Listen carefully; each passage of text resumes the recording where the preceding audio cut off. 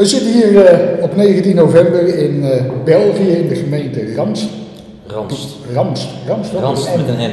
Met een N? Ja, met een N van Nico. Oh, dan eh, heb ik het helemaal verkeerd. Maar in ieder geval bij de BNNL Promotie Night. En tegenover me zit René Meijer, zanger van Asheville. van Asheville. Daar hebben wij een aantal nummers van in, in, in ons playlist zitten. En ja, hoe lang zijn jullie bezig? Wij zijn eh, in deze bezetting, ik ben er het laatst bijgekomen. Het was eh, voorheen de Frank Jansen Band. Eh, het eerste optreden dat wij gehad hebben was op 3 januari 2009, dus we bestaan bijna twee, twee jaar. Twee jaar. Ja. Dezelfde bezetting ook. ja, in dezelfde bezetting. Wie zijn de overige bandleden? De overige bandleden is op drums Ron Adelaar, de bassist is Wil Franken. De gitarist is Cor van der Pluim en onze stielgitarist is Joost de Nijs. Dat is een bekende man, Joost. Nijs. Joost de Nijs is een bekende jongen. Ja, in de kampioenwereld zeker. Ja. Ja. En dat verdient hij ook trouwens, want hij is wat mij betreft een van de beste steel eh, guitarplayers in Nederland. Absoluut. En was hij toevallig ook aanwezig op de DCMA eh, of ja, middag, 13 september in eh, de Lieve Kamp in Os? Nee, nee, dat was hij niet. Nee, nee. Daar waren op een gegeven moment drie, eh drie eh stuurgitaarplayers. Oh, oké. Ja, daar deed in ieder geval eh, Roland Jansen van eh Cash on Delivery. Ja, ja. Ja, ook niet de minste natuurlijk. Nee, zeker. Maar goed, we zijn met Asheville bezig. Ja. Ehm, ja, jullie zijn nu een jaar of twee bezig en wij hebben iets van zes demo- demo-nummers geloof ik. Drie. Drie? Ja. En volgens mij heb ik er iets meer. Nee, je hebt er, je hebt er drie. Er zijn er maar, er zijn maar drie eh, nummers die we hebben opgenomen in de studio. Oké. Ja. Wat, eh, wat, eh, wat gaat er verder gebeuren met Asheville? Zijn jullie bezig met een, eventueel met een CD? Nou, het is echt wel grappig dat je dat vraagt. Want Asheville is niet bezig met een opnemen van een cd. Om de reden? Daar, daar ontbreekt geld, is daar, is daar een reden van, maar, Ja. ook, maar ook tijd. Eh, dus ik- kom uit Amsterdam, de jongens die eh, wonen allemaal in Brabant, dus om dat bij elkaar te krijgen. Ja. de studio in. Eh, plus dat ik eigenlijk ook geen ehm, covers meer wil opnemen. Dat heb ik wel gehad. En daarom ben ik nu met een Amerikaanse tekstschrijver, Tom Lensner, vriend van mij. Hij schrijft de tekst, ik schrijf de muziek.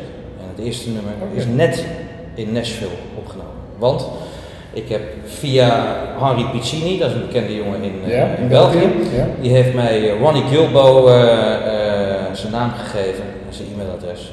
En dat is een, eh een, een studiomuzikant in, in Nashville. En die neemt op dit moment onze eigen nummers op. Oké. En ik denk dat de volledige CD gaat uitkomen. Pak een beet in, nou dat zal denk ik van de zomer zijn, juni. Aankomende zo. Ja, Oké. alleen maar eigen werk. En met een band uit Nashville, dat is echt fantastisch. De eerste nummer eh, is inmiddels afgemixt en eh, echt waar, het wordt, eh, dat wordt echt helemaal top. Ja. Wij zijn Ja. heel, heel benieuwd. Ja, ja. Ik zing het hierin, uiteraard. Ik, heb een, ik ga naar een studio van een vriend van mij Ja. en daar doe ik de vocalen.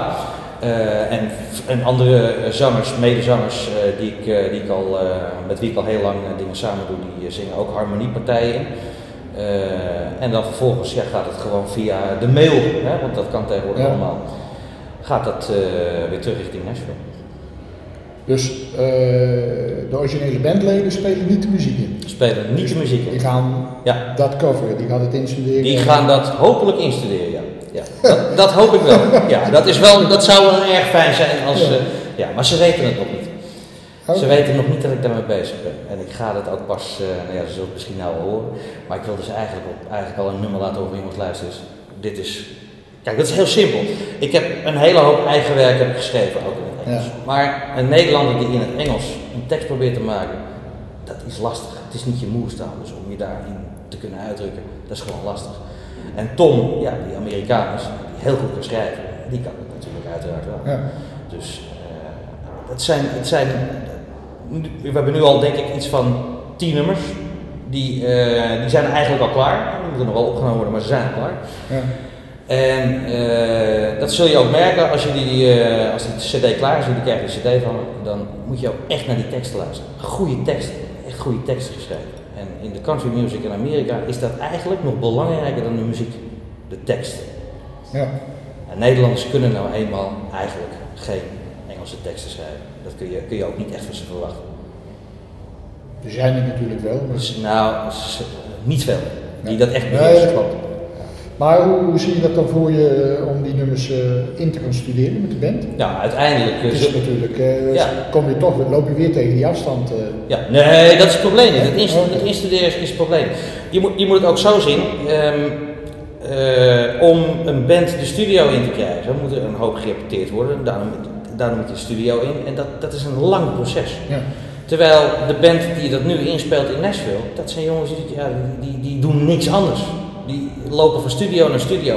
Bijvoorbeeld de steelgitarist eh, die, die bij mij de eh, nummers inspeelt. Dat is een steelgitarist die speelt met Dolly Parton, die speelt met, eh, ja, noem het maar op. En die heeft op honderden cd's gestaan. Dat zijn mensen die met Alan Jackson hebben gewerkt. of noem maar- Studiomuzikant. dat zijn studiomuzikanten. En die komen echt waar, want dat is, het is ook een financieel plaatje. Die komen voor eh 100 dollar en die nemen twee nummers op. En als jij hier de studio in wil, dan ben je echt een hoop geld kwijt. Terwijl ik daar nu op dit moment per nummer betaal ik denk ik zoiets van 850 dollar. Inclusief mixing en mastering. Dat kun je, kun je in Nederland echt vergeten. Kun je echt vergeten. Ja. Dus het heeft alleen maar voordelen. ja. En uiteindelijk hoop ik dat Asheville dat goed gaat vinden en, eh, en dat, ze, eh, dat ze die nummers, eh, in ieder geval een aantal nummers willen, willen gaan coveren, willen gaan spelen. ja. En, maar wat denk je te bereiken met de CD dan? Het Nou, is natuurlijk een hele grote investering. En Ja, het is een grote investering. Als, Gelukkig, eh, ja, gelukkig doen Tom en ik het samen, dus we delen de kosten. Dus dan is het, het is nog wel te behappen. als je links en rechts om je heen kijkt, zie je toch dat, eh, dat er een neergaande spiraal is in de, in de Ja. Ja, dat ben ik met je eens. Maar het- Ja. ik, ik zeg het gewoon eh, heel simpel. Het is in de eerste plaats is het voor mezelf. Oké. Ik wil eindelijk, ik bedoel, ik ben nu eh 42 en het wordt echt tijd dat ik nou eens een keer wat eigen werk, zeg maar, op een cd ga, ga, eh, ga zetten. Ja. Dus ik doe het in de eerste plaats voor mezelf. In de tweede plaats eh, wat er eh, voor de rest mee gebeurt. Ik hoop natuurlijk dat het gedraaid wordt op de lokale zenders in Nederland. Ik hoop dat jij hem gaat draaien ook. Dat jullie hem gaan promoten. Ik, het zou fantastisch zijn als die ergens wordt opgepikt. Daar, gaan we, daar gaan we ook alle moeite zeker voor doen. Ja. Proberen om dat eh, promotioneel een beetje voor, voor elkaar te krijgen. Maar in eerste instantie is het, is het ook iets van, ik laat in ieder geval wat na. Dat Ja. zeg ik heel eerlijk. Een stukje erfgoed. zeg Ja, maar. ja, natuurlijk. ja. Ja. Nee, dat is, Ja. dat is heel bijzonder. Ja, voor mijn kinderen ook. Ja. Mijn, mijn zoontje die is eh, vijf, die, is nu, die drumt nu al twee jaar. Dus het lijkt erop dat die papa achterna gaat in de muziek. Dat is leuk. En dat is gewoon leuk. Ik bedoel, Ja. ja. dan heeft die jongen heeft hij in ieder geval wel wat. Ja. Ja. Dus het is allemaal gevoel. En ik maak hem ook met vrienden in, eh, in Amsterdam. Er zijn een hele hoop eh, vrienden van mij die, die, die komen inzingen. En die zijn ook betrokken bij het project, die luisteren, die geven, die zeggen van nou, zou je dit niet zo, zou je dit niet zo. Dus het is ook een vriendenproject. eh, Ja. Dus het moet een mooie cd worden. Ja. Dat gaat vast goed komen. Ja. Eh, qua optredens, Ja. Waar, waar spelen jullie eh, zoal? Nou, we spelen eh, geregeld op festivals. Ja, niet, niet, niet verkeerd bedoeld, maar als wij jullie tegenkomen, dan, Ja. is, dan is het vaak in België. Heel toevallig. Ja, in Nederland, maar ja, dat weet je. Daar eh, is de Ja, spoel. eh Torren hebben jullie gestaan. We hebben in Toorn gestaan. Ja. We, staan we hebben in Amarant gestaan. We hebben ook in Kaatsheuvel gestaan toen met, wat was dat? Leon Priest. Hoe heet dat eh, festival? Voor een goed doel. Ja, de Star Riders. Ja, ja, precies. Star Riders. Ja. Komt even niet opkomen. Country artiesten halen. Ja. En we hebben, nou, dit jaar nog in Zevenaar gespeeld in een festival. De- Spikkelen. Ja, Ja, precies. ja, ja. Nou, daar was je bij. Ja, Nou, klopt. Daar zijn we elkaar tegengekomen. Eh, en nog een paar festivals. En we gaan in ieder geval, en dat is wel heel leuk, gaan we in april gaan we naar Schotland, naar Thurso. Waar ook meerdere Nederlandse bands al hebben gespeeld. Het is een heel groot eh, country festival. Dus daar kijken we ontzettend naar uit. Ja. Maar hopelijk eh, gaan we wel wat meer geboekt worden, ook, eh, ook in Nederland. op, op, op andere festivals die georganiseerd worden. Hoe kunnen ze jullie vinden als ze geïnteresseerd zijn? Asheville.nl En Dat dat is gewoon Nashville zonder N, zo simpel is het. Ja, is daarover nagedacht ook? Of? Ja, er is over nagedacht. Ja. Ja. eh, Joost eh, die wilde een pakkende naam voor die band. En eh, die... Blijft wel hangen natuurlijk. Ja, natuurlijk. En die dacht, die dacht Nashville, ja, Nashville kan natuurlijk niet. Maar toen bleek dat er een plaatsje bestaat, Asheville. Sterker nog, het bestaat geloof ik drie keer in Amerika, drie keer Asheville. Ja. Dus toen kwam, kwam, kwam hij daarmee. En dat is natuurlijk een pakkende naam. Dat blijft wel hangen. En jullie hebben nog een, eh, een, een bekend punt. Ik had het al voor het interview aangehaald. Ja, Eh, ja, ik vind het leuk dat je dat, dat, je dat, eh, jullie kleding. ja, dat je dat opgemerkt hebt. Ja, Ik denk dat er wel meer mensen opvalt. Maar ja. ja, luisteraars die hebben dat natuurlijk niet gezien. Mensen die jullie kennen natuurlijk wel. Maar Ja. Eh, jullie zien er allemaal hetzelfde uit. Ja. Eh, de, de, de mannen van de band eh, allemaal in een lichtblauw overhemd met, eh, met jullie eh, logo, jullie naam erop. Hoe is dat zo gekomen? Nou, daar hebben we inderdaad over nagedacht van jongens, laten we nou proberen om in ieder geval als we het podium opgaan, eh, dat mensen dus ook gelijk kunnen zien wie we zijn. Een stukje Een herkenning. stukje herkenning. Eh, ja, het is toch allemaal, eh, het is net alsof je een merk moet promoten. Ja, dat, dat geldt voor een band natuurlijk ook, het is precies hetzelfde. Ja. Dus ik vond dat, eh, ik geloof dat Joost daar ook mee kwam. Ik vond het een hele goede set van hem. En, eh, nou, ik heb dan ook een zwart, ik heb dan ook gekozen voor zwart, dat het ook weer duidelijk is dat, dat, dat ik onderscheidend ben in dat geval. Ik ben de zanger, eh, dus dat, dat vonden ze ook wel goed eigenlijk. Dus ja, ik denk dat dat wel een goede, goede set is geweest. Ja.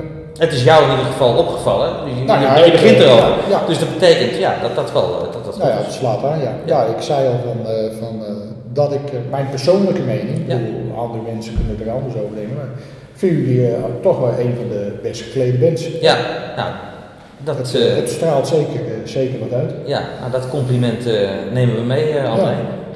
Dankjewel.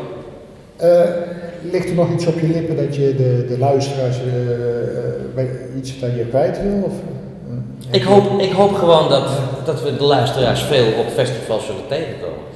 En, eh, en ik hoop dat we ze kunnen vermaken, want eh, ja, een band heeft publiek nodig. Ja, En eh, dat draait het allemaal om. Wij zijn ontzettend blij als mensen ons complimenten geven en als ze, als ze naar ons toe komen en ze vinden onze muziek goed. En ze vinden dat we leuk spelen en ze kunnen er lekker op dansen. Dat is allemaal goed. Dus Ja. we zijn heel erg blij met het publiek. En ik moet ook eerlijk zeggen, we krijgen ook echt, echt bijna altijd wel gewoon goede reacties. oké. Ja, Wil ik je bij deze bedanken voor, eh, voor het interview. ik dank jou ook. En nou ja, heel veel succes natuurlijk met, eh, Ja. met, eh, met de aanstaande CD. Ja, En ja, ik hou je op de hoogte. we gaan rijkhalsend naar uitkijken. Oké, goed. Dankjewel. Dankjewel. André.